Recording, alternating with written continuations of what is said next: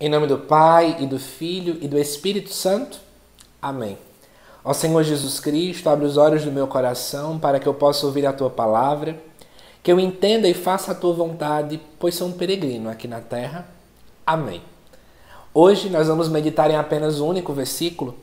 Esse texto se encontra lá em Gálatas, capítulo 5, versículo 24, que vai dizer assim: Pois os que são de Cristo Jesus crucificaram a carne com suas paixões e seus desejos.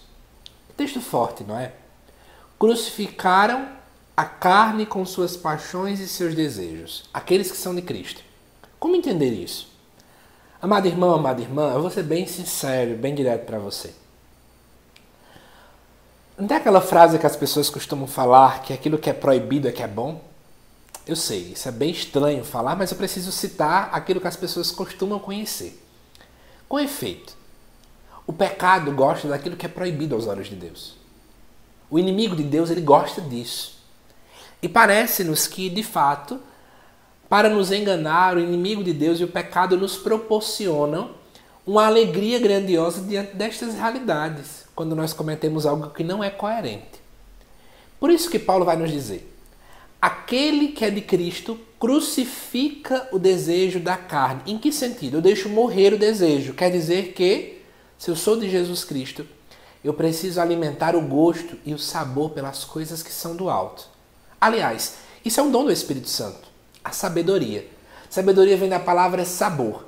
É aquela pessoa que tem sabor pelas coisas de Deus e que perde o sabor pelas coisas que não são de Deus. Olha que coisa linda.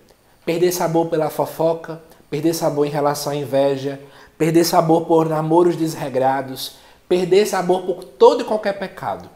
Esse é o convite que nós temos, se queremos seguir Jesus Cristo de fato.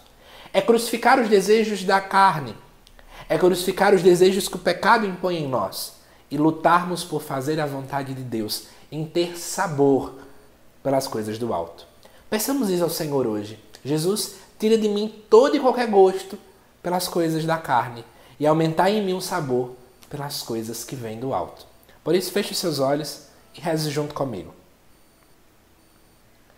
Senhor Jesus Cristo, quantas vezes eu apenas tenho sabor pelas coisas da terra, as coisas carnais, aquilo que o pecado me impõe. O quanto eu tenho vontade de falar mal dos outros, de matar o irmão com palavras, de viver uma sexualidade desregrada, uma afetividade desordenada. Quantas vezes o meu coração se enche de inveja, ciúme, ira, falta de vontade de perdoar, um coração duro. Mas isso, Senhor, não são coisas do alto. Eu queria te pedir hoje, nesse dia, me dai sabor pelas coisas do alto. Me dai sabor pelas tuas coisas, Senhor. Eu quero aprender a desejar acima de todas as coisas. Eu quero aprender a almejar pelo céu. Concedei-me esta graça, Senhor. Amém. Que Deus te abençoe e até o nosso próximo vídeo.